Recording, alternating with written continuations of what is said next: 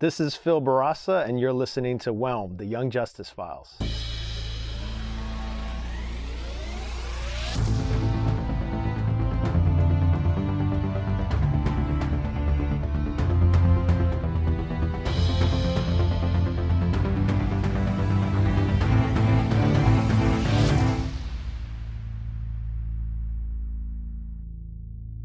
Hello, team.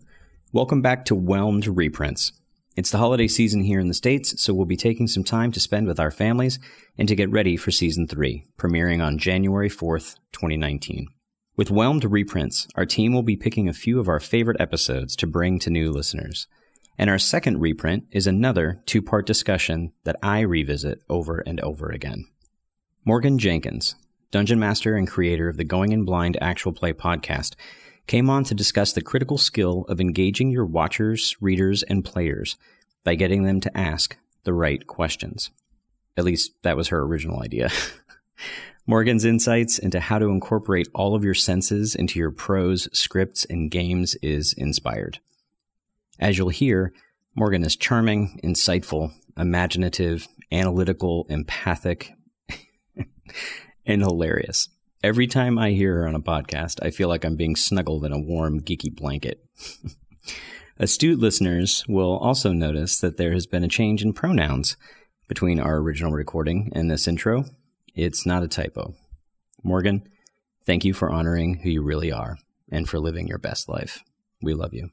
By the time this episode airs, DC Universe subscribers will also have access to the first enhanced episodes. If you haven't heard, a selection of episodes from seasons 1 and 2 are being released with additional digital content, including commentary from DC Comics and Young Justice creators, as well as us, the team from Whelmed. We don't know in what order they'll be released, so if one or more of our episodes are available, we hope you enjoy them. We were honored to be invited and had a blast helping out. We hope you enjoyed today's double length collection and your upcoming holiday season. Stay whelmed, everyone. Recognized Uncle Walker D, 0, 1. Recognized Going in Blind D, 1, 8. Today in the cave, we have an example of the wonder of living in the future. The brilliant and charismatic Morgan Jenkins is coming to us from Australia, host of the Going in Blind podcast. Going in Blind is a Dungeons and Dragons actual play podcast whose players are visually impaired.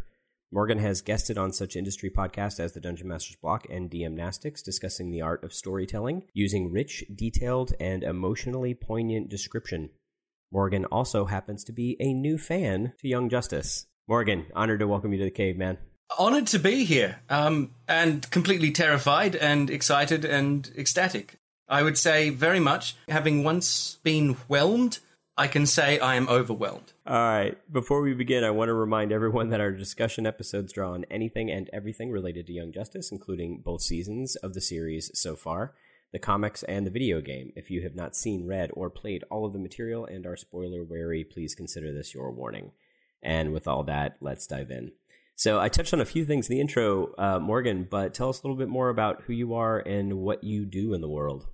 Who I am is of no importance. What I do is slightly more interesting, I think. I've worked with Vision Australia Radio for a number of years, just doing odd projects for them. And because I love Dungeons and Dragons and I love combining things that I love in strange ways no one else would, I thought, wouldn't it be great to take Dungeons and Dragons and make it accessible to people who are vision impaired?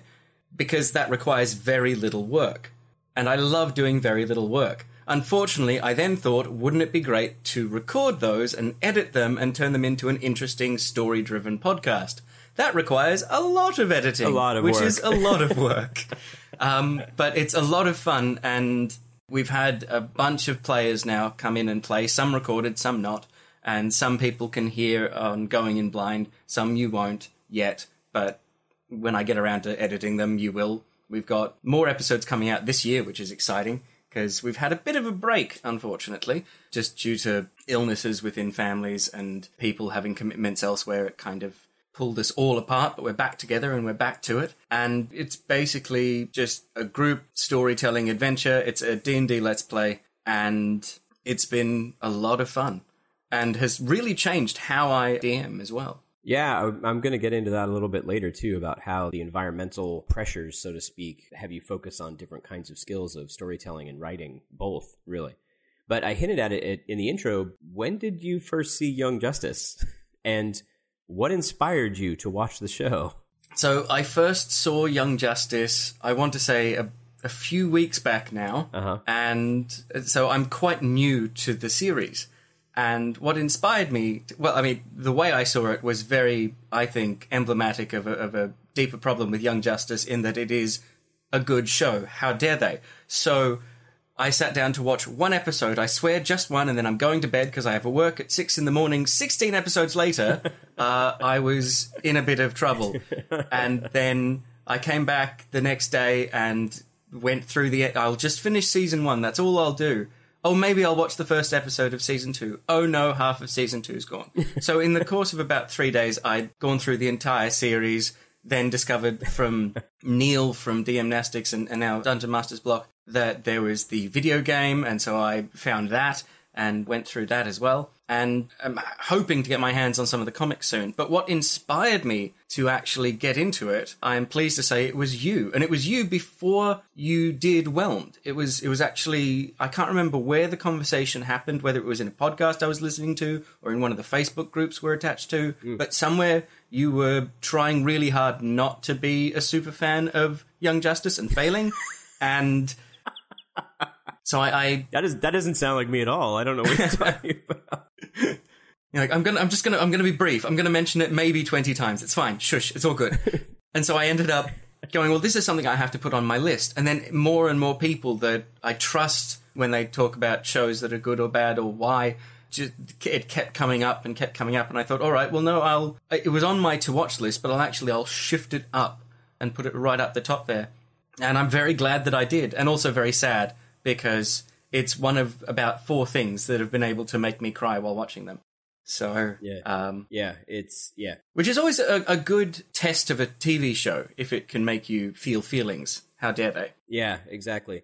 I think that was the original title of this episode was how to get Morgan to feel things and then destroy him. I think some, something like that. Is that what we were brainstorming? Something along those lines. Yeah, yeah, yeah. Yeah. So, what was your experience with DC, like DC and comics in general, before you started watching the show? Like, do do you have a comics background, or were these characters all new to you? Oh no, the, not all of these characters were new to me. Certainly, some of them were. But I, my very first, going far, far, far back into the distant past of the '90s. Ugh, that that hurts. There's a time travel show on at the moment, and they keep going back into the past to the 90s, and it makes me sad inside because I get all of the cultural references. but I grew up watching Lois and Clark, Oh, right. Yeah, of course. and that was my introduction before even watching the the Superman films. That was my introduction to what Superman is and what this world is. And then, of course, Batman the animated series. Though the airing time in Australia for that was weird, and they did it out of order. So Okay. it's it's also on my list of things to go back and rewatch to actually get it as a whole story, as it were. And other than that, the TV shows now, unfortunately, getting into comics is incredibly difficult to know where those jumping off points can be. And to that end, I've listened to a number of podcasts about comics and about the creators of comics, hoping that someone somewhere will say, here's a great way to get into this series that you might be interested in. and torturing all my friends to try and find those jumping in points. And of course, trying to have money for comics because they cost money. Yeah, I hear you. And and as, as difficult as that is, at the end of the day, it's a medium that I think great stories are being told in at the moment, and we need to support it. And so, really trying to support it. But mostly at the moment, yeah, it's the TV shows, Arrow and Flash, and all sort of the rest of the Berlanti verse. Right. And that's kind of where I'm getting a lot of my stuff from, comic wise, at the moment. Well, that was one thing a few people have told us is that Young Justice became a kind of an on ramp for some of these myths, you know, these stories and ideas, which is fantastic because there's a lot going on. I mean, we've got a whole podcast. so I, I first heard you talking about storytelling techniques in the Going In Detailed episode of the Dungeon Masters block. Ah, And it blew my mind, man. It was absolutely fascinating because as a gamer and a comic fan for that matter, I love bringing detailed visuals to my table. I, maps, pictures of my supporting cast characters, miniatures, crazy looking dice, just whatever, right? To keep my players engaged, basically to cheat and hopefully have them think I know what I'm doing.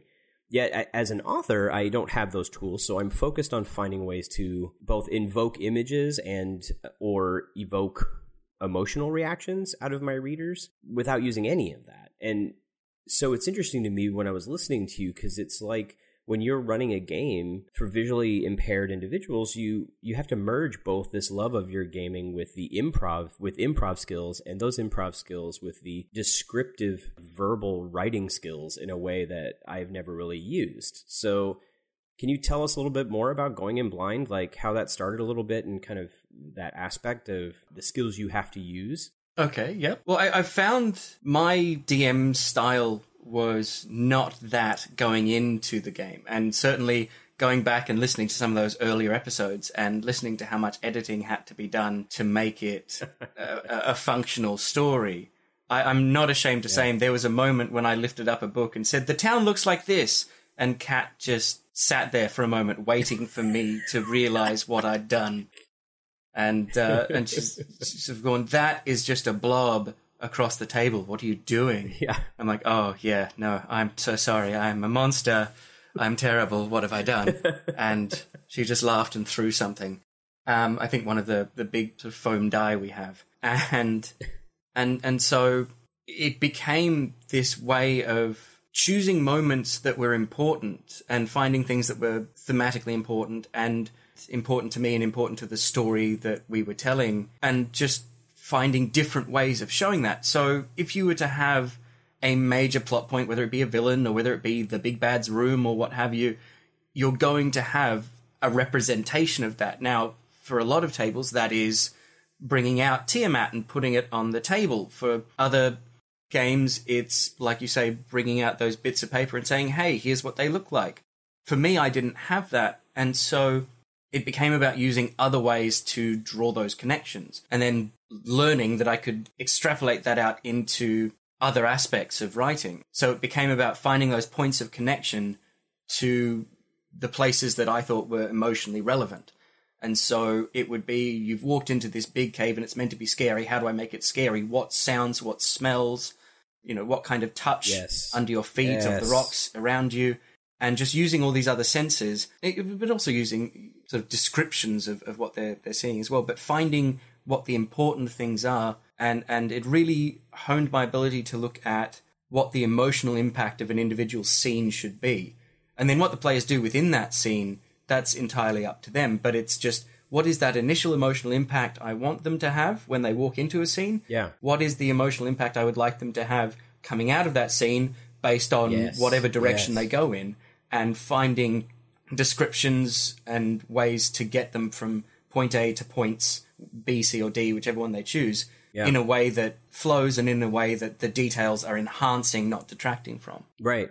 Does it affect how you either how you write now or or how you even read or consume media? It it has in that th- that combined with just working in in sort of radio editing, I'm a lot more interested in the soundscapes that people put behind and through shows, TV shows, radio shows, whatever it is I happen to be interacting with. And yeah. when reading books, looking at the way things are staged in a book, because when you place characters down on a map, you are telling a very specific story and you're unfolding it in a very specific way. You are putting people in positions of power of, uh, if you want to draw the horrible Star Wars third episode thing, you're putting them in the place of higher ground and therefore they have the advantage. but, Thank you, Ben Kenobi.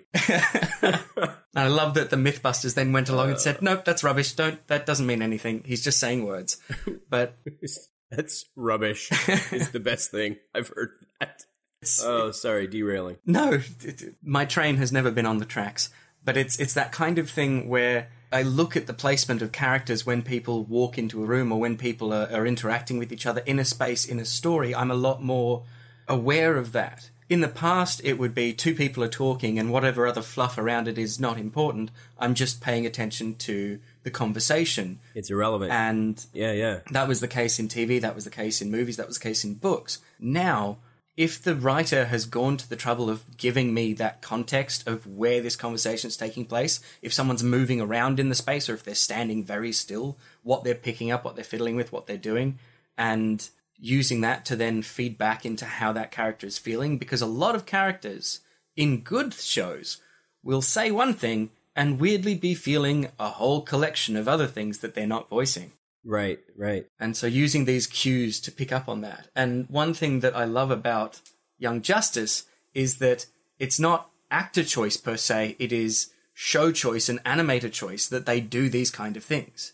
Yeah, we've talked about that a ton on the show, and it's one of the reasons, one of a few reasons I wanted to have you on the show was because of that filter that you work with through storytelling. This unique filter and presentation, both with radio presentation and with a game at the table, even when people are present with you. And those choices that I know that I was sure you were noticing, right? The visual looks on characters' faces in the background, or the sound, the audio in the background, where the choices are made, right?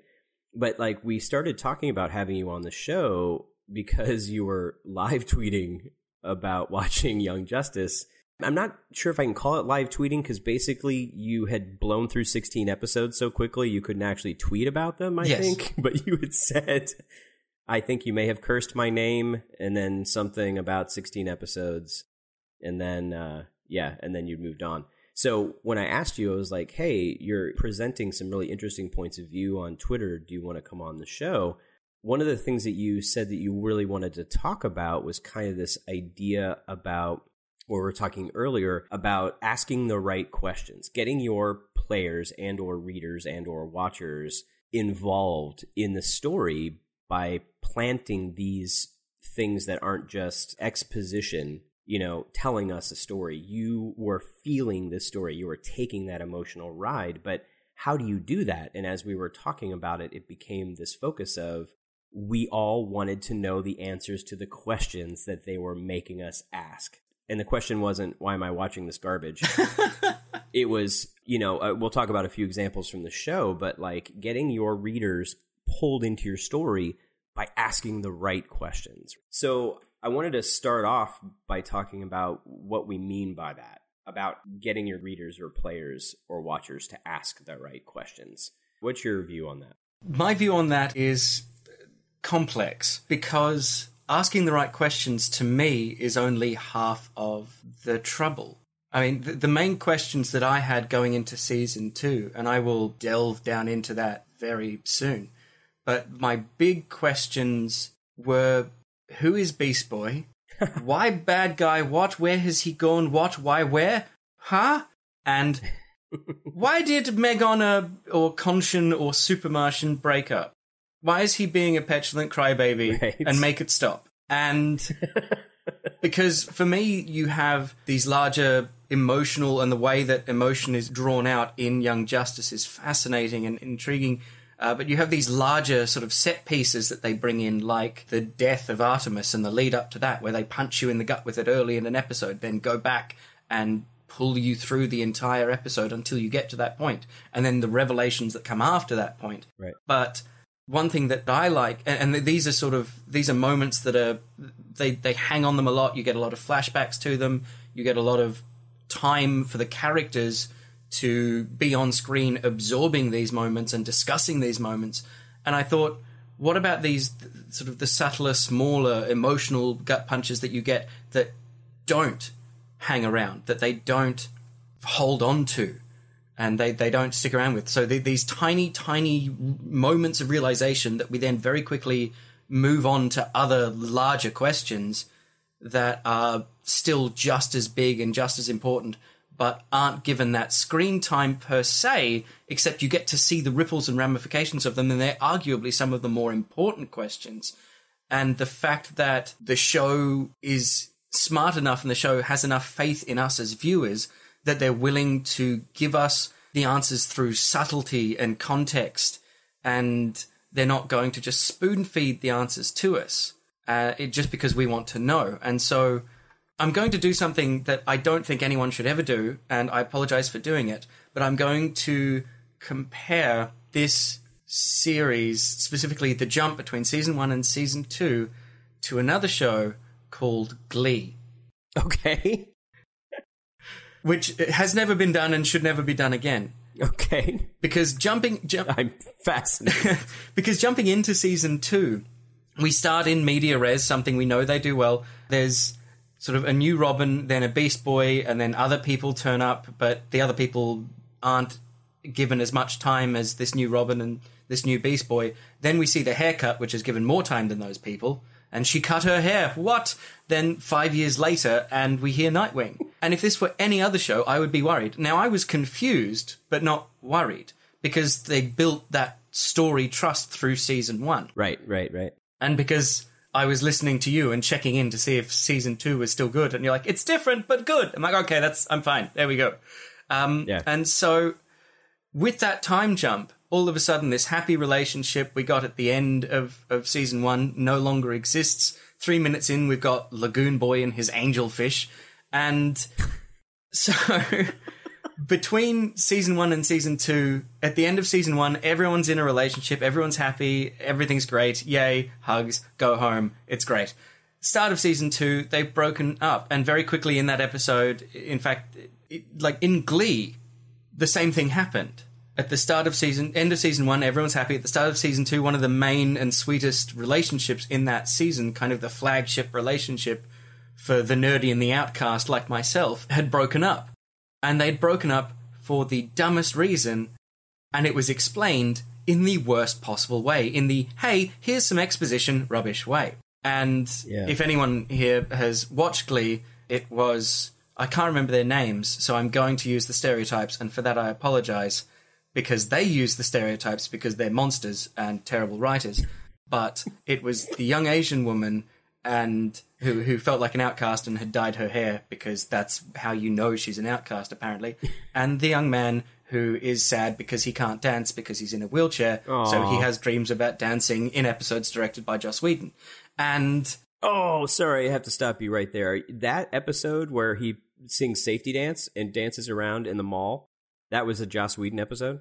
yes, that is the episode. Is that why that's the only episode that replays automatically in my head periodically? That episode is amazing. It was a fantastic episode. It's what actually made me sit down and watch Glee. Was it was directed by Joss Whedon. It had Neil Patrick Harris in it, and it had a really fantastic story done in a really interesting way, and really sweet and really uh, bittersweet. And I then went into the rest of the series, being like, maybe the rest of it will be this good. Not quite. Yeah, you were mistaken. Oh, and, and certainly when when they jump to season two, and all of a sudden you have, oh, she's broken up with him because he's not Asian enough for her parents, and she wouldn't understand his Asianness, so she's now going out with the Asian. Was so beyond problematic that it hurt. okay. I'm sorry. I didn't watch enough of I liked the first season fine and this I think we stopped watching in the second season for unrelated reasons, so no, I didn't realize that it happened. And it was explained in such a terrible. Mm, We try and stay positive on this show. ah, I'm just letting you know. but it was it was so it was it was so painful simply in the way that and again i there are ways that you can deliver that information that isn't terrible and the question of why they broke up was resolved in such an awful way and the answer itself was awful but it was resolved in such an awful way that it just created a disconnect with the show and I had to step away from the entire show. And so coming into season 2 here in a lovely show that's friendly and would never hurt us, sarcasm show, are you listening? We get a very clear they are broken up. We see that Wolf isn't happy about it. Very quickly we get some subtle FaceTime with Baby Soups and we know that he's not cool with it. And that makes his later chat in episode two with Alana interesting when he's saying, I dumped her and she left me no choice. Yeah. But he thinks the new Atlantean is good to her and a bit of a jerk. And all of this is happening. And the only thing going through my head, the very first big question, this, this question, uh, if we're talking about the right question and, and how to answer it, is where is this old Atlantean and why? Because we've got this new guy and he's not the old guy. And where's the old guy? And that brings me to a really interesting one, which is Tula and the revelations and realizations about her, which are so subtle that they're almost entirely played as background. Yeah. Mm-hmm. So, like in season two, episode three, Alienated, about oh, I want to say ten minutes in, we see we get that realization that the son of Manta that we've been seeing is Kaldur'ahm, and that he's gone to the bad side, and we don't know why. But the fact that they posit that question in episode one of where has he gone, who is what, why, why has he been replaced, and they wait until the third episode, which in real world that's weeks of waiting. For me, it was about 10 minutes, but it, for everyone else, it was Oh, yeah. weeks of waiting to find out. So at this point, Don't tell me about this. oh my god. this is, this is why I'm, I'm always sad about people who binge things. Yeah, my wife who got she loves loves Kaldur. And we got into the first like handful of these episodes and she's like, I can't watch this. What is happening right now? I can't I can't I'm like just just keep watching. He's not a traitor. Oh my gosh, he blew up that island. Yeah. And like all these people were on it. I can't. We had to literally like because we were binging it because she binges things, and she we just had to stop. She's like, I can't. I gotta take a break. she just had to stop because she couldn't handle it. Right? Not necessarily in a bad way. She needed to know why this character, who she had grown to trust and love in the first season, had done these things. Right? And then when he reveals, even when he reveals like to Aquaman and the rest of us, like you let Tula die. We're like, wait, the what the what? Yeah. Like, okay, and then why didn't you tell me? And this was my mistake, Cal. And like, you're like, oh my gosh, I want to see this conversation that had happened, and we, of course, we get to see it. Um, Neil was on our on the show telling us about the video game Legacy, where we get to see that scene. But again, these are you, you make a perfect point that I was going to bring up maybe a little bit later, but we can nod to now, which is this idea of knowing how to reveal things organically within the story, right? We didn't need to know all the background, and indeed, it was better to not know the background of what is happening right now. Now, I will say that there are definitely plenty of watchers of Young Justice who did not care for the time jump because it made them uncomfortable. Like they were so like confused by what was happening. And I'm making a speculation here, but I think those of us who understood or knew these characters understood pretty quickly what they were doing, which is, oh, Robin is now Nightwing. Oh my gosh, they've jumped five years in the future. The storyline potential for this is enormous. We can immediately introduce characters like Tim without going through an entire season, right? It has us ask that question who is this Robin in the grotto who's apparently dead? They never, ever mention Jason's name through the entire season. So you just know there's a dead Robin, and that's it. And the the grotto is an interesting one as well. Although, sorry, just very quickly, with that we were talking about that reveal of Kaldur'ahm being evil per se, and we then find out in a later reveal he's not. But when he does that first reveal, and someone says there's a bomb and we've got it covered, he gives the first perfect, where he says perfect in a way that suggests at the time to us, oh, he's happy and this is all grand and part of his plan. But later, when he's undercover and we know he's a goody pretending to be a baddie, and when Artemis is undercover and we know she's a goody pretending to be a baddie, every time some baddie makes their life more difficult, they always say perfect. Yep. They always say it without sarcasm, and they're always totally sarcastic and have to change their plan to accommodate it. Yep. And I thought going back and rewatching this episode and seeing that reaction, and then that they sort of call back to that reaction later on, really interesting. Yeah, absolutely. When he finds out that there's that bomb and goes perfect. Of course, the the magical moment, which I get Khary Payton on the show to talk about Aqualad.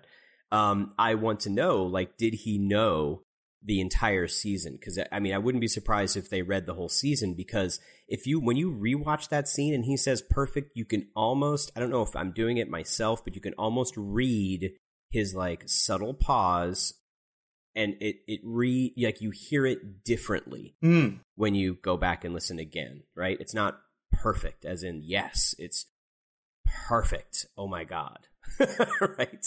Yeah. N- now I have to try and save all my friends from this bomb. And then the way he does that is fantastic and, and different and interesting. And And the moment where like Nightwing and and Aqualad are in the bottom of that cave where the bomb is and Aqualad says, "Is it just you and me, old friend?" or something like that. Like he's finding out if he can talk, right? yeah. And then Superboy comes down and it's not. And then the way he's like, now I'm going to have to pretend to grandstand while warning you about this bomb. Right, time to monologue. Yeah. time to become a supervillain and monologue. In rewatching it, it gives it answers so many other questions as well. Sorry, I think I may have derailed you though. So Not a problem. yeah, so you were talking about like the question of who's Beast Boy. So did you? Oh, well, j- just before Beast Boy, we were about to talk about the Grotto, Oh which yeah, yeah. is an interesting one to me. Oh. uh, because we were talking about the, this death of this middle Robin that we don't know about, and certainly I knew that there were a number of Robins because, and, and that one of them becomes Nightwing because I have tangential understanding of this sort of thing. There was a fan TV series made about Nightwing years ago on Kickstarter, and I might have backed it. Uh, but it was a lot of campy fun. But in the grotto, we've discovered. Oh, you dare question me? Uh, you let Tula die, and now we then see not just that Tula died because you're like, well, okay, how did Tula die then? This is more questions. Why did they let Tula die? Was that does that mean she was part of the team? And we discover in the grotto she was part of the team. She was Aquagirl. She was part of the team. She was she was at some point leaving Atlantis to join the group. And this is an interesting one because again, like Beast Boy and like uh, you get these smaller, big to the character emotional pain that is just left in smaller moments in the background, kind of puts it in our psyche without beating us over the head. yes. And I think that's fantastic. The fact that when they're in the grotto in episode eight, and they're in the cave with the holograms, and they're standing in front of Artemis, and they're talking about her being dead, and they're all in mourning, and there's a blue guy that no one recognizes off to the right that we get a bit more context on a few moments later. But in the background of almost every shot, like when people move, the camera moves with them in such a way that Tula is in the background. Like they'll push each other and they'll step off to the side and the camera will move so she stays in the background, right there, in the center of the frame almost. Right. Right. Always just there. Interesting. And so while she's she's not a main part of the story, they keep reminding you this has happened. This character that you met and you know is important. We saw how important she was in season one to a, a number of our main characters, but especially to Cal, and you know, is a further reminder of his pain and Garth's pain and Aquaman's pain. And because they're reacting to Cal's actions in that scene, they're seeing Artemis and they're talking about how could he have done this to Artemis, and we are getting this reminder that right there in the background is how he could have done this to Artemis. Just ever present, hanging over everything, and not referenced. Absolutely. And she was definitely part of why he agreed to be so reckless and go deep undercover. Yeah, absolutely. And we haven't gotten into reviewing any of season two yet, but these are the same kinds of things that we talk about, the things that get dropped in the background. So these are visual cues, but a lot of the examples I put in here were things that people had said. Like for Artemis in Bereft, where they all lost six months of their memory, and Kid Flash is like, "You got a Green Arrow thing, or like, what's going on with this costume?" She's like, "Oh, Dad probably put me up to it." And he's like, "Well, why is that?" He's like, "Oh, he probably wanted me to kill you." And then, then like a bomb goes off, or like the the tank blows up the building they're in, and you're like, "What did she just say?" And the way she said it as well, so matter of fact, like, well, I, I guess I'm supposed to kill you or something. Yeah, she's like, "Oh, he probably wanted me to. he wanted me, probably wanted me to kill you, the jerk." You know it. And it, it makes you again ask that those questions of who they are, but it gets even subtler than that. The idea that Superboy in that very first episode saying Superman can fly, why can't I fly? And then it doesn't come up. The general idea that he's less powerful than Superman comes up as a general plot point or general motivation, but not specific. Like we specifically get an answer to why he can't do this, as opposed to just hand waving it. Oh, clones are less powerful. But also, we get it episodes and episodes down the road. Exactly. So it's it's a throwaway. It's not a throwaway line, but it's it's a line that tells us something about his character that we as the audience and he as a character don't get a resolution for for literal months. It's it feels like Yeah, yeah, absolutely. And this idea that with an ensemble cast in particular, the idea that they can literally like shuffle these little character development points and little handholds for us throughout a bunch of episodes. It's important because with an ensemble cast, you have so many characters. You, you, it's nice to spend, you know, an episode focusing on a character, you know, uh, cold hearted for Kid Flash or whatever performance, really kind of focusing on a lot of Robin, even though other characters are in it. Like you get these character focused episodes, but really every episode has little bits and pieces, but you have to understand every character that's in a scene and make choices as to who's going to be in a scene in which to reveal these pieces of information as it goes along. And- and that takes so much planning, Yeah. right? And I also find it's interesting that you get these ideas of the things they reveal and when they reveal them.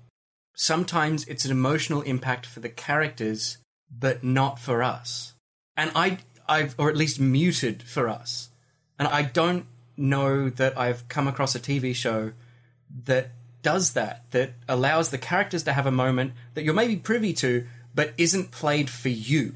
Interesting. So, for instance, the death of Artemis was played for us. The characters, a lot of them had, you know, were in on the secret. A number of them weren't. So when they're in mourning, we're in mourning, then we get the reveal. But it was emotionally played for us, the viewers. We were there with them, feeling what they were feeling Yeah. the next big question that I had at the start of season two after this time jump, which is who is Beast Boy? What's going on there? When that gets played out, the emotional journey that they're going on is one that A, they've had before, B, we're not really privy to. It takes about a minute for them to get through it. And then you have to unpack it yourself, but the TV show has moved on Yeah. so it's a moment for the characters, not for you. And you then have to almost make a not conscious effort, but you then extrapolate out from that the emotions. Like the scene you're talking about is the scene on Rann Yeah. when Beast Boy sees a lake and a waterfall that looks exactly like the one in which his mother died. in. it's yeah, in uh, Earthlings near the end. that was brutal. So throughout that whole episode, you're getting, and, and again, you're wondering who Beast Boy is, and you're getting, you, you know, oh, hello sister, hello brother, uh, here I am in Camp Granada, and then uh, just before the the revelation, sorry, just before the revelation, she hugs him, and we get a quick reference uh, to blood transfusion, which I missed. Because I was overthinking the whole sister brother thing and going, oh, is he another Martian uh, that's come down and now he's doing this other thing? What's going on there? Um, and I missed the obvious. But you then go, wait, oh, when she says you get, you'll get, you know, he says, what, what power will I get? And she says, you'll get the power to listen to your adoptive sister. You're like, okay, adoptive. So why did she adopt him? Because I'm so slow on the uptake.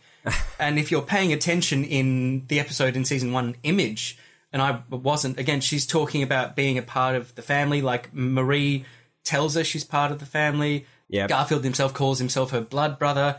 And so these one off lines in Image about family, to me, at the time, meant, oh, she just, she wants acceptance, she wants a family, she's scared of losing all these people uh, and losing all that because of her white Martianness. And she even says, and you played me an AMV this morning as I was trying to make coffee, where they take that line of, of her saying, you are my family to the group. And certainly in image, that's what I took from it of you are my family, this group is my family. Not even thinking, uh, of course, of course she's going to accept that throwaway line from Marie about you're part of the family now.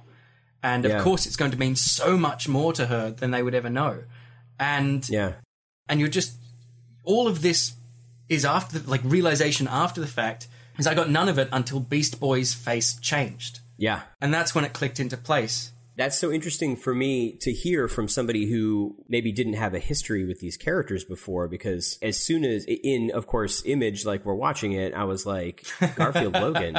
Oh it's Beast Boy right? They they got changeling in this. That's interesting. He's really young. And as they went through it and then you know of course they completely changed his origin for Young Justice in getting this blood because Miss Martian's not as old as him as a character. They did this blood transfusion, and I'm like, oh my god, he is literally a green shape changing superhero. Whoa! Like how, like they did this brilliant way of folding his origin into what makes sense for the story uh, in here, and then carried it through into the next season. And they, they do it in, was in such a fantastic way. Talking about subtle things, that's a setup and a payoff that I never would have realized that you're there with it all the way back from Image. Whereas I had no knowledge of this now until we get to the waterfall and the image of the car. yeah, And that's all they give you. And yet you know, you know what happened to his mother. You know straight away before she even mentions Queen Bee why he's now with Megan. And you see uh, interestingly, it then puts into context everything I saw in the previous episode and in that episode, where in the face of all this insanity and danger, he's just this bubbly, uh, effervescent thing. And it's like a parallel with Robin from season one, like in Homefront, Yeah. where he's being chipper and he gets called on it by Artemis. Because it's just, it's that Right. coping mechanism to what is basically PTSD almost, or certainly post traumatic stress Yeah. Yeah, yeah. and so you've got Miss Martian, you know, having caused these mutations, feeling guilt over not being able to save his mother, and feeling like his family for so many reasons. And here he's got those same coping mechanisms, and it's functioning. You see it functioning. You see him functioning right up until this waterfall.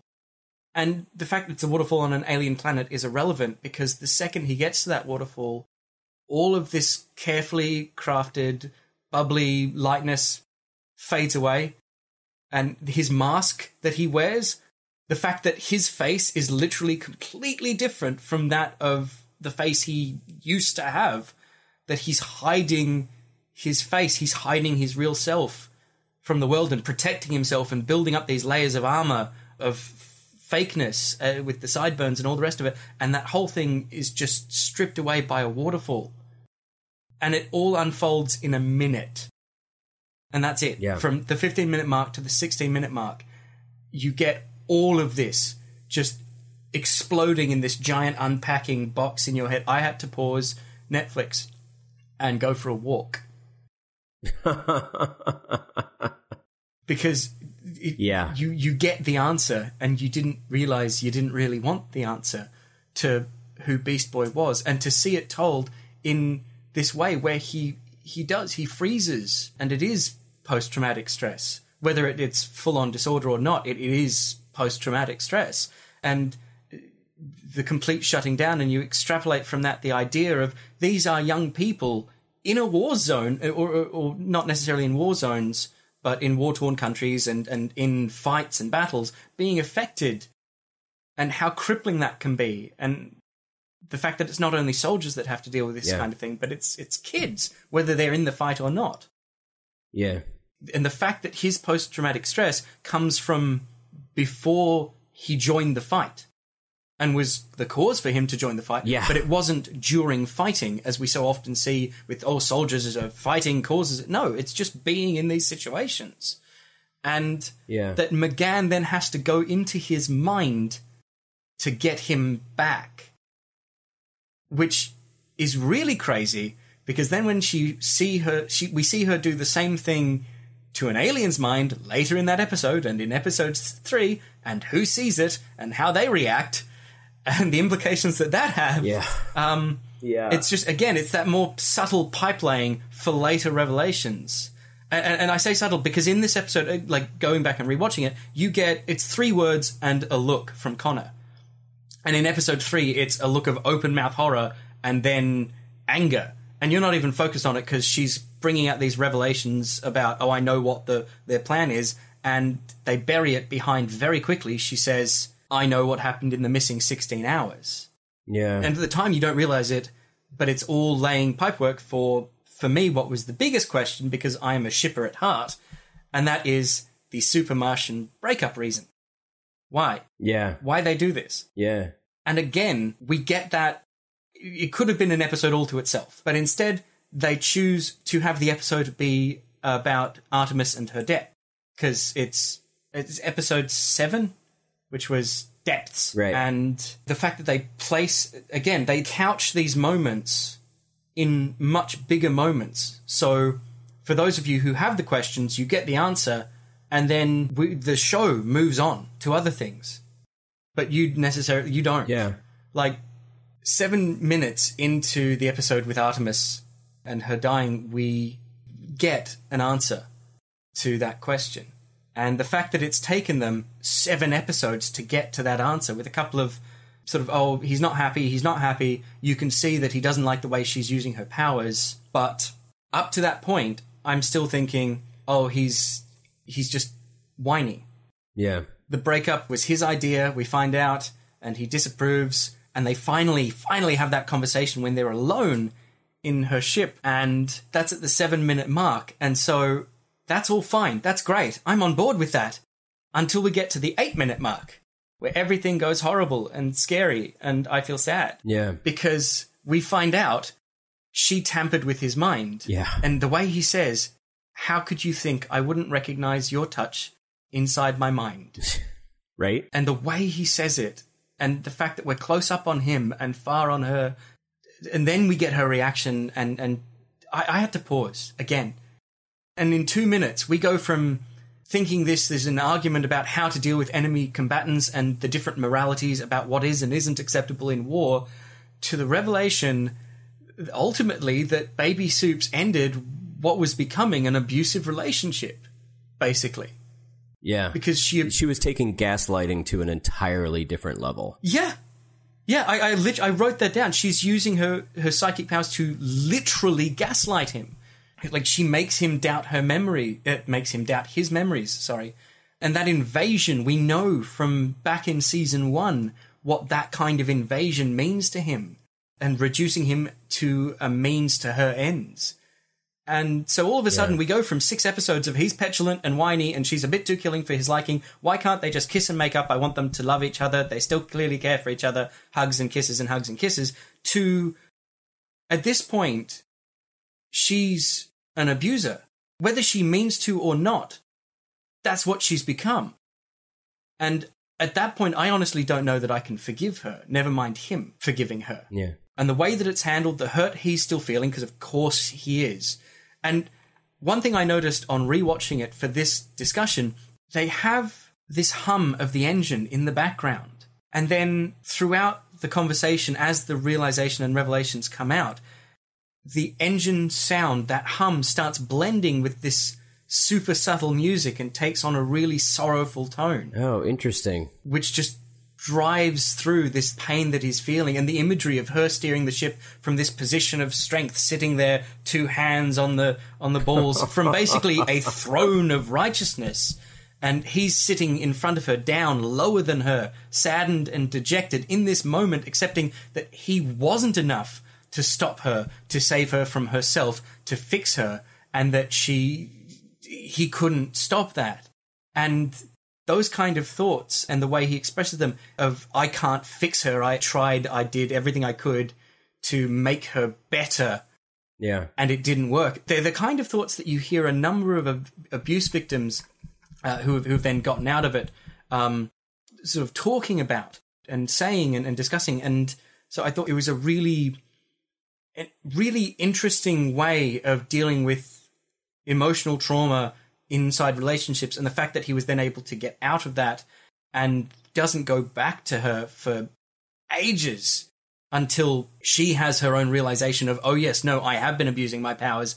I am an abuser. It takes her a while to get to that point, and then Yeah. she actively goes down this path of redemption, at which point he can come back to her. Right. Now, uh, whether that's a genuine path of redemption or not, we don't know. I really hope it is, because I love them both.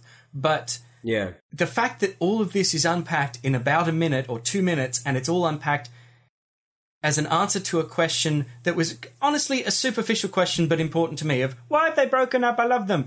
And the answer to be this complex and this much of a gut punch and to take this long to get to Yeah. and to have ramifications that fly all the way back through the series and all the way forward through the series through to the way that she then destroys Cal's mind and again that's that kind of thing we saw coming you can see the pipework they're laying and you can understand oh she's going to do this now she's done it but this this punch in the gut this answer to this question the way they did it still amazes me that it would like you don't get adult shows that go into this kind of depth with this sort of thing. Yeah, exactly. Exactly. And the ability to be able to drop these questions does a number of different things. One of them, like you're talking about, it has us compelled to watch because we want to see the answer to the question. But it's not just a single answer to a single question. It's not a yes, no answer to a question. It also makes us speculate on how the puzzle pieces go together. So, talking about the moment in which Beast Boy and Miss Martian run into Aqualad on the can't remember if they were on a base or if they were on the Manta sub. But when he comes around the corner and you see her and you see the look on her face and her eyes start to glow, and before it even happens, you are horrified because you can see it coming, even though it's only a split second between we see her come around the corner or see him come around the corner and her frying his brain. You feel that. You can see it coming seconds before she does because we have we something completely unrelated, right? The, the things that led up to us being horrified by this dynamic between Miss Martian and Kaldur has nothing to do with Miss Martian and Kaldur, right? The things that led up to that moment were other things. There were clues and pipes, as you say, laid in relationships between her and other villains, and between her and Superboy, and between you know her and previous seasons of things that she was doing and couldn't manage, and Failsafe, the episode Failsafe, and like all of these things are all laid so that we get to put those pieces together ourselves. They are not telling us a story. We are getting to experience the story and take that emotional roller coaster because they have compelled us to ask the questions, right? And try to put those pieces together. It's this show continues to be mind blowing. And as you as you keep rewatching it, as you specifically keep rewatching it and or continue listening to our show, hopefully you'll see the more and more and more and more and more layers of ridiculousness that has gone into the thought process behind these. As you say, even single hero stories like Arrow don't put this much time, effort, and depth in the world in which the story is being told. And the fact that because it's animated, every single frame and reaction has that thought behind it. It has to have it. It's, these can't be spontaneous actor visualizations that they're doing in a moment. They could be the voice actors maybe putting a tone on something that the animators you know now interpret in a particular way. Uh, in um, what we watch, uh, War, that AMV that you were watching this morning, um, War, they do some great cuts of the relationship between Roy and Oliver. And the scene where you hear Crispin Freeman's voice change from that angry Roy we're used to, where he says, where there's like a pause, and then Roy says, It may not have been clear, but I've not, I don't feel that way. I don't feel that you're a failure. You're a good man, Ollie. And you hear that tone and that change, in Crispin Freeman's skills as a voice actor to be able to deliver those lines appropriately likely fed into how they changed, like relaxed his face in the animation and scrunched his eyebrows and those kinds of things. But all of the things that are happening in the background, particularly things like you're talking about the music and the sound blending with the hum of the bioship, I'm gonna have to rewatch that scene just to Hmm. to see that, to experience that, and affecting us in ways that we, we don't realize until we go back and analyze or start a podcast and start talking about it. Yes, or focus your, your life on vision impairment and realize that there's a whole world of things out there that you hadn't even considered. And yeah. if it's doing its job, sound isn't being paid attention to. If Yeah. it's working, you don't notice it's there. Yeah. And one thing I've noticed in Young Justice is you don't notice it's there, but it's there. Yeah. That's a fantastic point. I have heard cinematographers in movies say, if you notice my work, I am not doing my job appropriately. And I know writers have also said similar things. Like, if it looks easy, if I've made you reading the story look like it was easy to write, then I've done my job. Because it wasn't. It was nightmarish. but if everything looks like they make sense, and one step obviously leads to the next step, obviously leads to the next step, obviously leads to the conclusion, then I've worked my butt off to make it look that way. And we see aspects of that not working in other shows, but the fact that in Young Justice you get that. You get these big questions thrown up at the beginning of of season two or wherever else you personally may find them. Certainly a lot of mine came at the beginning of season two.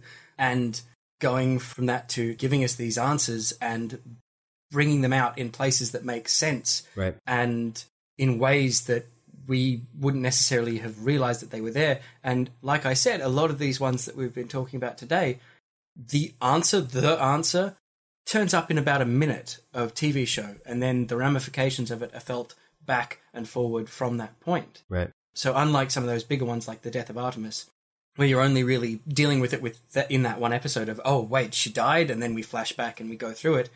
These are, are smaller, subtler answers to questions that we had that really, while their on-screen time is very short, Yeah. the reaction they instill in us and what we then take going forward into the rest of the series has enormous impact.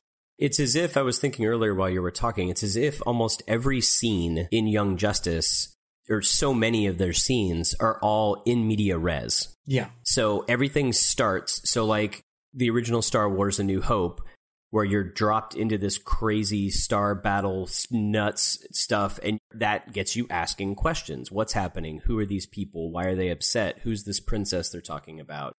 You know, blah, blah, blah, blah, blah. You're asking questions. But it doesn't have to be that blatant. Mm. It can also be you're now in media res with the five year jump, but there are times when I feel in media res in an emotional moment. Something is happening to characters that I care about, or something is happening to characters I've never met. Like there's something happening. What is happening? That's the first question. There's a pretty common thing that happens as feedback for new writers. A new writer who's writing a novel, it's pretty common for an editor or someone giving feedback saying, get rid of the first four chapters. Your story starts in chapter five. Oh, especially if it's a fantasy story, Ugh. because inevitably the first two chapters are the world of Dooble is a giant world and has seven cities and forty-seven continents and Right. three children, and Right, you've built this world, Yep. and you're really excited about sharing the world. right, So what do you do? You just share the world. Right. But a lot of when they say you start in chapter five, the story starts in chapter five, it's because we don't need that world building at the start. We need you to give us good, interesting, impactful storytelling and then build the world around that. Right. And that's something they do not just with world building, but across the board with story building, with character building. They always make you feel like you've just walked into a room and things are happening. Yeah. And you'll get that context when it's important to get that context. yes. But for now, you're just engrossed in the story. Absolutely. And that's what I think is one of the foundations for understanding how to use it for your own writing of getting your readers to ask the right questions, right? And there's simple things too, if we can shift gears into that a little bit, because I want to talk about the practicalities of this a bit, if you don't mind. Of course. So, starting with like little things, like not having characters say things that are weird that would be strange in a normal conversation. Like you and I are having a conversation. I'm not going to say, well, Morgan, what I mean to say is because that's not the conversation we're having, right? The the Morgan would be there to inform a reader that Rich is speaking to Morgan because clearly somebody hasn't made my dialogue unique enough for someone to be able to tell who I am, right? Or not starting a bit of dialogue with, well, as you know, Then why are you telling me? well, th- then why are you telling me again, right? Like, well, Morgan, as you know, I'm the host of Whelmed. There's a cheaty, cheaty version of that that has started turning up in places where people have discovered the term lampshading and they think, oh, well, if we lampshade, we'll be fine. And lampshading is a term where you do something silly or a writery gimmick, but then you point out that you've just done it Yeah. and somehow that makes it okay. And so we're getting a lot of in TV shows, people will do the, they won't say as you know, but they'll say, well, this and this and those three people are actually the bad guys. And the other person, there'll be a beat, and the other person will go, yes, I know that. Yeah. I was there. And they'll go, oh, yes, of course you were. Right. I wasn't explaining this for a third party that's watching. Ha ha ha ha. Right. And Yeah. to me, that's almost just as bad because you're trying to be sneaky about it. I call it painting it red in the show, which Hmm. is a term, like a writing term I think I picked up a while ago. Like, I don't mind painting it red, but the painting it red needs to be done with a purpose and not as a crutch, right? Joss Whedon did crazy stuff on, say, Buffy. That one of the things that cracks me up that I think is a perfect example of the things that he did is he would take those TV tropes that you didn't even realize you were allowing for in your own mind and then flipping them on your head. There's a scene where they're all standing around in a, in a mausoleum and they're waiting for a bad guy or some terrible thing to happen. It doesn't happen and they all leave. You're laughing. Do you know what scene I'm talking about? I Maybe? don't, but it sounds so familiar. Okay, so they all leave, and Giles is by himself in this mausoleum, and he's like, Yeah, I guess they're all right. I should leave. So he walks out the door.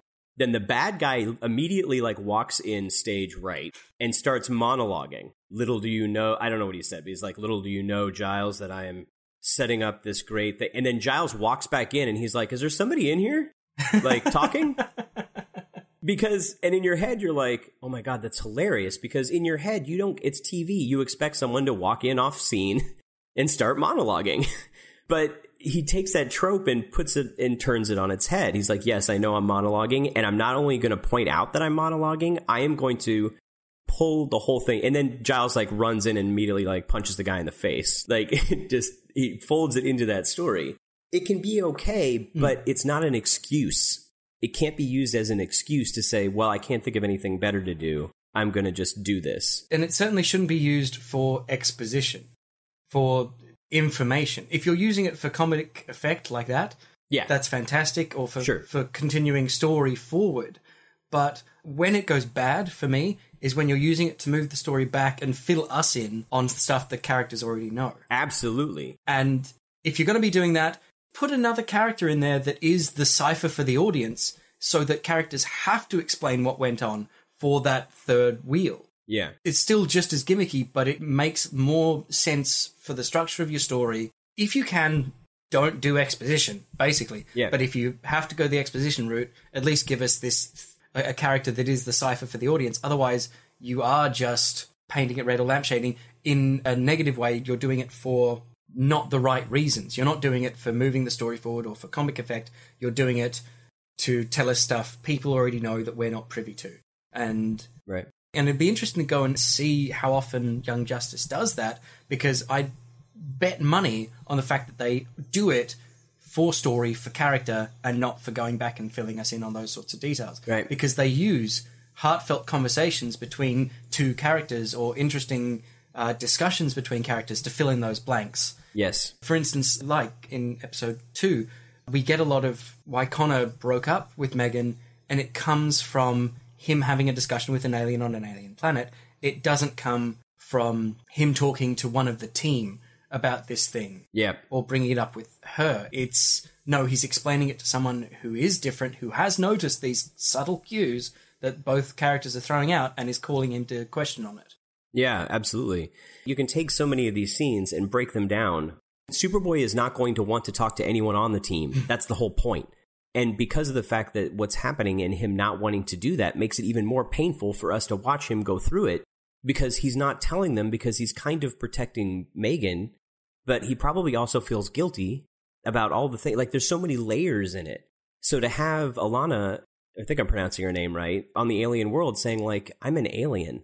like we have nothing else to do except wait right now and you literally won't ever see me again. Hmm. So it gives him the opportunity to have this conversation which he probably desperately wants to have with someone and it gives us tons of information. So i talk about my holy trinity of things that a scene needs to do right? Give information develop character or move the plot forward. And if a scene can do two if not all three of those things in one tight scene, you're nailing it. If it's just doing one of those three things, it's going to feel flat. In that scene where he's talking to her, we learn all kinds of stuff. Yeah. He's not aging externally.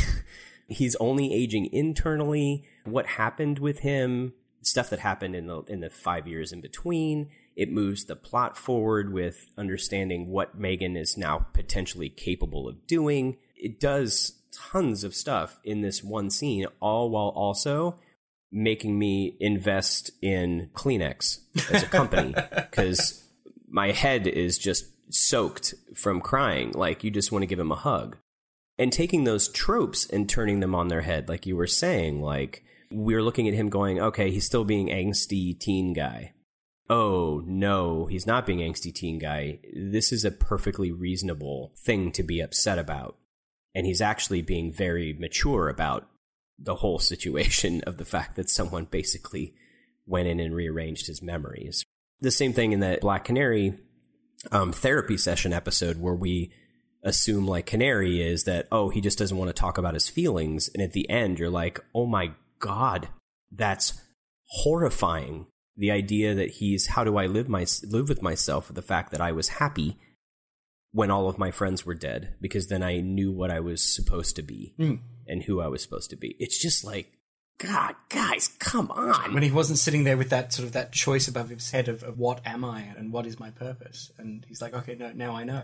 Yeah, exactly. I am weapon. And to combine that with all the other sessions, Robin's session about his translation of not wanting to be Batman anymore and what is he going to be. And it's just, yeah.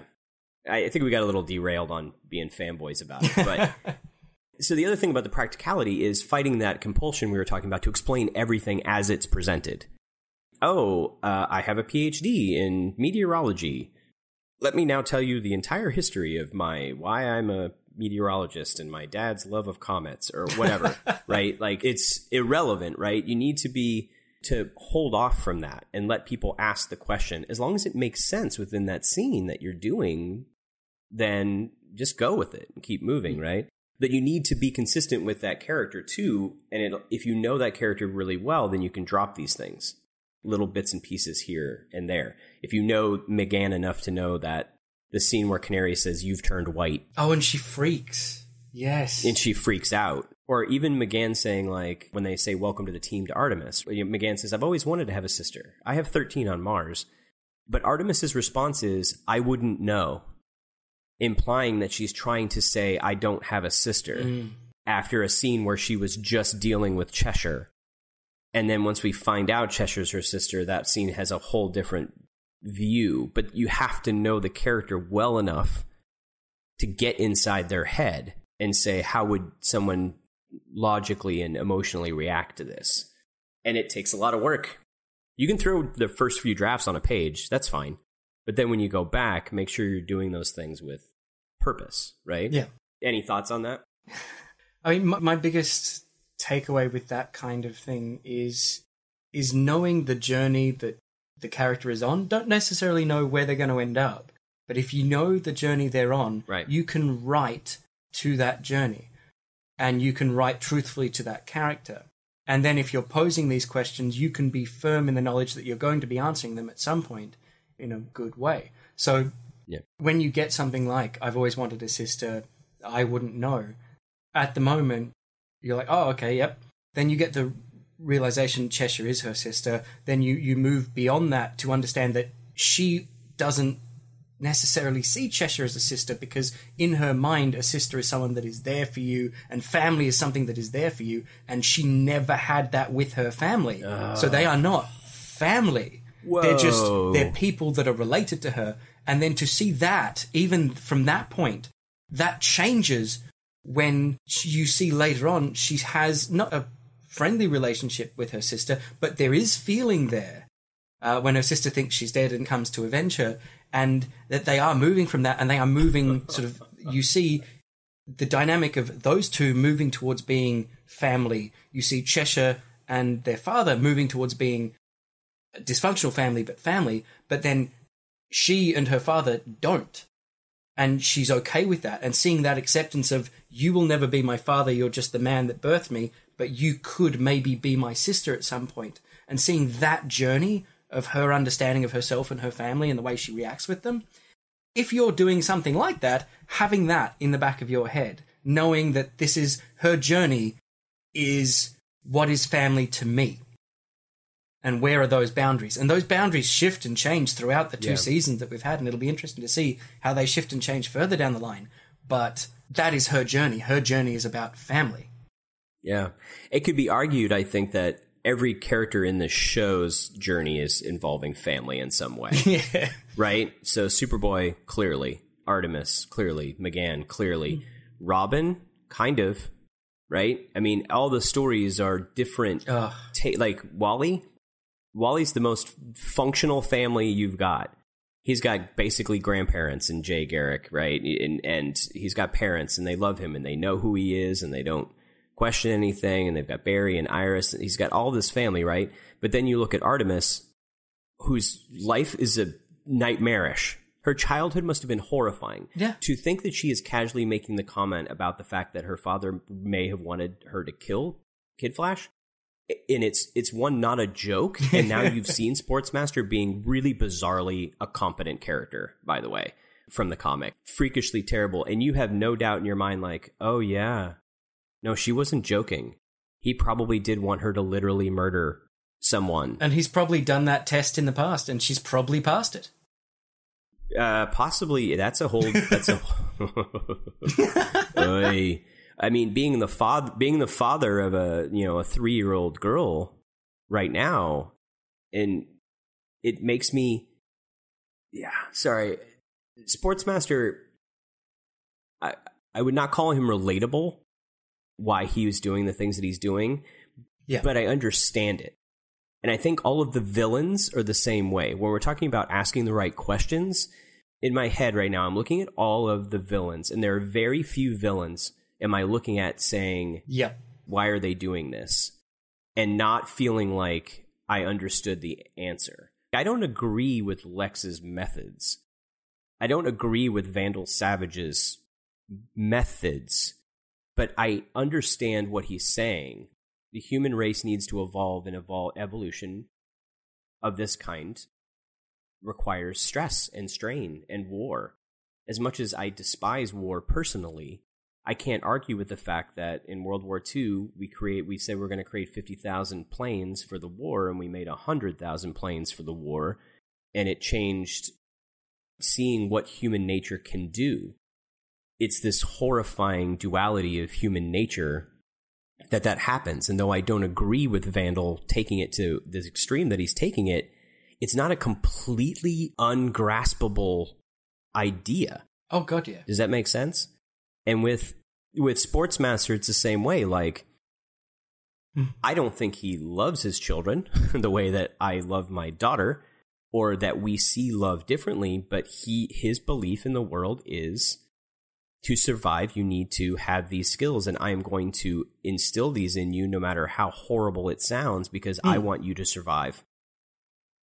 And there is a piece of that that is very twisted and not okay, but can be seen as I hate to say loving, but Yeah, no, there's an element of he cares that they continue. And whether that's because he cares because they are his legacy or whether he cares because there is genuine emotional attachment. Yeah. And it's very interesting to see where that line may or may not be. But you can follow the logic and you're and again, talking about asking the right questions, it's about the show positing situations where those questions arise. And never do you have a question of why is this character doing this? And then you don't get that satisfying answer. yeah, And that is a large part of it is if you can ask, why is the bad guy being the bad guy? Oh, well, because he wants this and he thinks this is the way that he can get it. And you can understand that logic. It's not just, I'm being evil because woo, evil. You know, Yeah. even, even the aliens, like, why are the aliens doing all this weird stuff? Oh, because they would like to take over our world and utilize us and utilize our resources and they're playing the long game. Yeah. And that's why they're doing things that seem a bit strange in the moment because they're in it for the long haul and they can be. right. And they and even though they have technology that clearly outstrips ours, why aren't they just taking over the planet? Oh, okay. Now we find out why because the guardians of uh, the guardians of the galaxy, you know, who created the ridiculously powerful Green Lantern Corps, have stopped them and made them sign a contract deal that says you have to do X, Y, or Z. Someone has to agree to have you come. You have to be invited. Yeah, you have to be invited. And in this case, you know, okay, that makes it so that they have to do the long con because a more powerful force is protecting us. So much of this, I'm sure, is planned and plotted ahead of time. But I, I do wonder how much comes out spontaneously simply from the skill and experience of the writers and the showrunners without overanalyzing it. Like, Yeah. Sometimes a cigar is just a cigar. Sometimes, sometimes the blue curtain in the background doesn't mean that the main character is full of depression and angst from there. Blah blah blah blah. Sometimes it's just blue, you know. But that doesn't mean that it's not put in there in a way just simply because someone knows how to tell a story in a particular way. And does that make sense? It does. And certainly it's one of those fun things where kind of your job that's not your job because we love it is to sit down and overanalyze these things. I find it interesting in my own writing going back and looking at things that I put in there that I wasn't even aware. I, you come to this realization of this is this character's journey or this is this moment's journey, and you go back to retroactively make it so and realize you were already doing it and didn't realize it Yeah, and speaking to other writers, and it doesn't happen all the time, but the, you will have everyone that I know that, that writes has that story of the time they were working towards something and didn't even realize it. And so there will be times when you put in a blue curtain and you think it's just a blue curtain, and it turns out no, it is because of sadness. You just didn't realize it at the time, which makes this kind of over extrapolation incredibly strange and murky. But for me, media is for the consumer. What you get out of it is what you get out of it. So, regardless of their intentions, Yeah. if that blue curtain is sadness and that helps you feel sad and gives you connection to that moment, then that blue curtain is sadness. Yeah, I don't disagree with you at all. Um, Mm. gosh, we went all over the place, which I knew was going to happen um, because I've heard you on other podcasts. Yes. and uh, I've also heard uh, the the fabulous Neil, who um, also edits some of our episodes, talk about how your bromance started, and you just couldn't stop talking for hours and hours. And I knew that was going to be the case when we sat down to start chatting. But uh, I think we touched on all of the things that we wanted to touch on about basically making sure that you understand your characters to enough of an extent to be able to plant those seeds, to not have to front load your reader, trust your reader to be able to ask the questions and be able to piece those things together. It's a thin line to walk though between trusting your reader and you know spoon feeding versus not giving enough data and information or not if you have introduced a promise at the beginning of a story of this is a question we want you to ask and then not satisfying that question by the end of the episode season series whatever it happens to be that's a problem. But walking that thin line between the presentation of that data and information is why you have readers and editors and other people to help you make sure you're staying on track. And then yeah trusting trusting in people to be able to put those things together i think are kind of the key points. Any key points you want to make? I don't really have any key points other than I, I want Young Justice season three. and which brings me to why did you when when did you hear about young justice season 3 you heard about it before you even started watching it? I, yes, I, I heard about Young Justice season three before I started watching, but I'd been interested in season one and two as a finite product because when I first heard you talking about it, when I first got interested in it and put it on my to watch list, we had two seasons in the comics and that was it. I didn't even know about the game. And so getting that microcosm of excitement that the longtime fans must have and knowing now what they've set up throughout the series of what could be coming and knowing how good the writing and the story is. I mean, how I feel about it, jealous that I'm not a voice on it, basically, is, is probably how I. if they call tomorrow and say, Morgan, can you come on and do a, a voice of a character? I will drop everything I am doing and fly up to America and, and go do a voice. Because, I mean, th- that, that really would be my dream come true. And it doesn't even have to be a main voice, just like two lines in the background, so my name's in the credits, and I can say I'm I'm attached to Young Justice because it really is.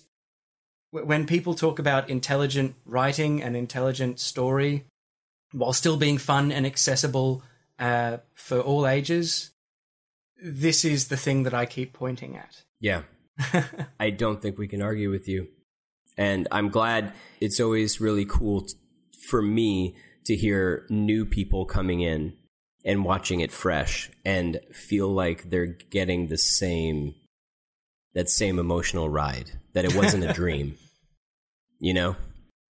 That it does matter and other people are seeing it too. So I can't thank you enough Morgan, for coming on the sh- and uh, chatting with me on the show. I think you and I are going to be chatting a lot Oh, I about hope so. as time goes on and when season three comes out. Yeah. So um, if people want to track you down to um, argue and debate you on all the points you made today, where can they find you out here on Earth Prime? Ah, they can find me. Uh, sort of the easiest place to find me is on the Twitterverse. I'm either at moronjenk, I think, or uh, you're more likely to actually find me on Going in Blind's Twitter, which is Going in Blind DND, and I tend to float around there. Or you can find me on. I don't know. I'm on Facebook and Tumblr, but I'm hidden in secret. so yes, Twitter is probably the best place to track me down. Awesome. and thanks to everyone everyone for sharing time with us as well. You can find us on Twitter at the YJ Files, on Facebook at www.facebook.com slash crashing the mode, and on our website www.crashingthemode.com. I can't recommend Morgan's guest appearance on Dungeon Master's Block highly enough. Going in detailed isn't just about running games, it's about sculpting images out of words and building tension through description in a way that every storyteller can benefit from. Then go check out Morgan in action by listening to Going In Blind at goinginblindpodcast.com. And I'll just simply quote the website expect a lot of fire and explosions. if you enjoy our show, please consider sharing it with a friend. Of course, you can also support the show by giving us a five star review on iTunes, Google Play, or your podcatcher of choice. The ratings help others find the show. If you do leave us a rating, please let us know, especially if you're outside the US. We have to look a little harder to find those. I literally just found a couple from Canada that I didn't know were there. And even though season three has been officially announced, please continue to spread the word to friends and family about the series. Hashtag keep binging YJ on Netflix. Pick up the comics. Hashtag buy YJ comics on Comixology to get us more tie-ins and get yourself up to speed for the season three premiere. And as always, Stay whelmed, everyone. You've been listening to Whelmed, the Young Justice Files podcast. Our hosts are Rich Howard and Emily Booza. Our editor and producer is Neil Powell. Our theme was composed by Emily Mio. Our logo was created by Kevin Bates. Whelmed is a fan made podcast and is not officially affiliated with DC Comics, DC Entertainment, Warner Brothers Animation, and any other owners of Young Justice or its related source material. As such, these companies have sole ownership of all symbols, images, names, logos, and proprietary material related to Young Justice. Original content of this podcast is ours under Creative Commons. Thanks for listening and stay whelmed.